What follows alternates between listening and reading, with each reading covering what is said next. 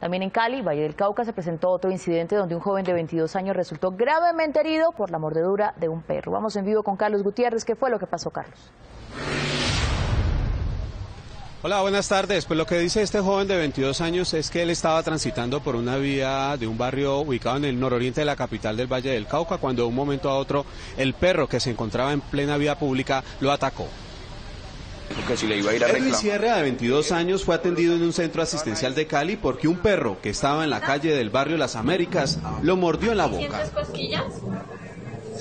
Siento que me estás tocando. Asegura que el animal no tenía collar, bozal o algún elemento para que estuviera en la vía pública. Perdí mi boca, parte de mi boca y como si no hubiera sido nada.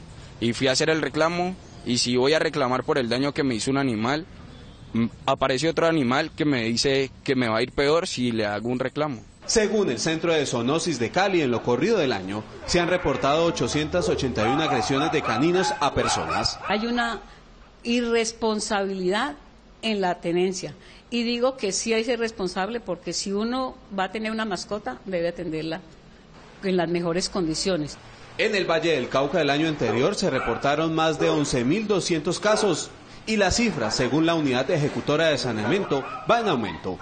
Eh, tenemos un mayor número de reportes desde las IPS eh, porque las personas están consultando más dadas las alarmas las, que se han emitido.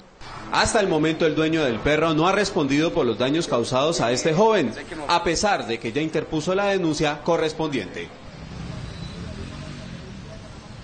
Al parecer este perro ya ha mordido a otros habitantes de este sector de Cali, algunos de ellos menores de edad. Lo que dice el joven de 22 años es que cuando le fue a reclamar al dueño del animal, este lo amenazó. Por eso ya interpuso la denuncia correspondiente y le pide a las autoridades que brinden por su seguridad.